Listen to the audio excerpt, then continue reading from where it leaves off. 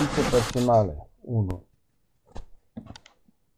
uh, Aș vrea să îmi reamintesc în câteva minute trei idei uh, ce zice, ce am citit în uh, unele cărți uh, despre regele Asa care apare în Vechiul Testament, rege în Ierusalim, Iuda și Beniamin. Regele Asa a fost fiul lui Abia, sau poate greșesc, sau Abiam, sau fine. Care că, nu, fine. Dar regele Asa a fost un rege bun. Regele Asa uh, a găsit țara într-o stare deosebit de grea.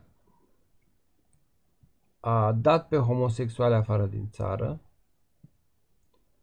a nimicit uh, altarele de pe munți, a Uh, nu știu dacă el sau altul, nu, nu cred că, dar oricum, unul din regi l-a distrus și șarpele de aram al lui Moise pentru că oamenii uh, începuseră să închine la el, că i-ar dea ștămâie și ziceau ești tu sau nu știu cum, știi? E bine, asta ce a mai făcut? A înlăturat idolii uh, și din casa Domnului, cred că erau idoli, a restabilit uh, monoteismul în evrei, în iudei, a, a ce a mai făcut? Mama lui i-a zis, uh, dragă mamă,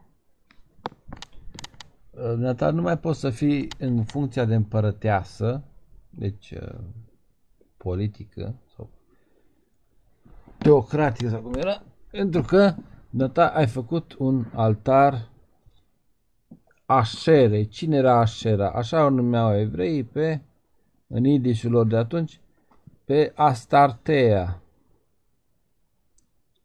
care era regina fericirii. Deci, uh, ce zice Maria când uh, vine Gabriel la ea?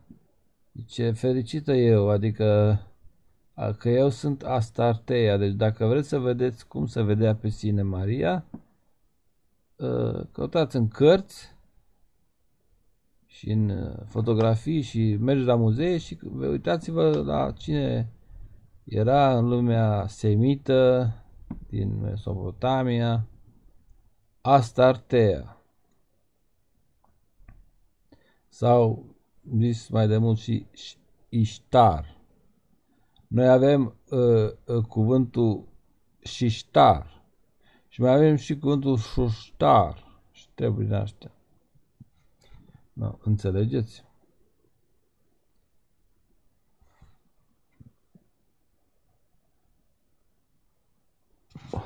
Apoi, regele Asa, vedeți, interesant, l-a chemat a, mama lui sau ce, părinții lui au numit Asa, probabil îi ziceau așa. Adică ferica. E, pentru că dacă îi plăcea ideea asta, așa era aia. Și el nu. El s-a întors la Iahve. Și el zis, mamă, îmi pare rău, nu mergem pe linia dumitale. Deci, și el era pocăit, știi? Și ce a mai făcut?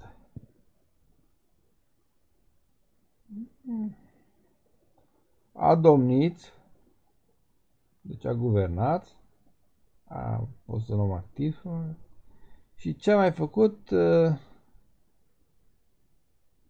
a luat nu știu ce cetate să repare Rama, parcă Ramotul, Rama, să repare acolo. Și la sfârșitul vieții numai uh, s-a îmbolnăvit la picioare și nu a mers la Dumnezeu, că atunci era încă perioadă uh, profetică, nu ca acum. Suntem vai de noi, uh, nu, dacă nu luăm medicamente sau nu ne operează, nu ne... Ci uh, a întrebat pe doctori. No, și asta mi se pare că a domnit 42 de ani, sau poate greșesc. Și apoi a fost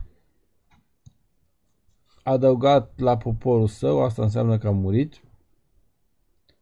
Și l-au îngropat, cred că l-au îngropat, da, l-au îngropat în mormintele regilor lui David, Iuda, Jerusalem.